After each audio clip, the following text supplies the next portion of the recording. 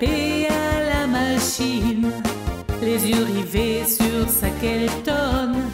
Joséphine attend que ça se termine.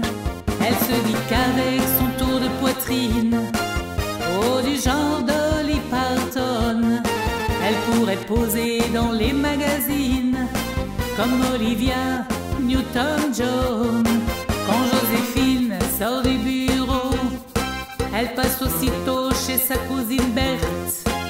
Ensemble, elles courent au club à gogo pour aller danser le jack, pour aller danser le jack sur de la musique pop, sur de la musique pop, sous les éclairs des stroboscopes. Elle danse le jack, elle danse le jack. Roger travaille dans une usine qui sent bon l'oxyde de carbone.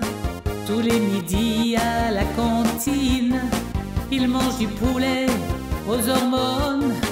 Roger admire beaucoup les nines, Roger admire beaucoup les nonnes. Et dans la fanfare de l'usine, le dimanche il joue du trombone. Et quand Roger sort du bureau, il prend le bus de 18h17 et file tout droit au club à gogo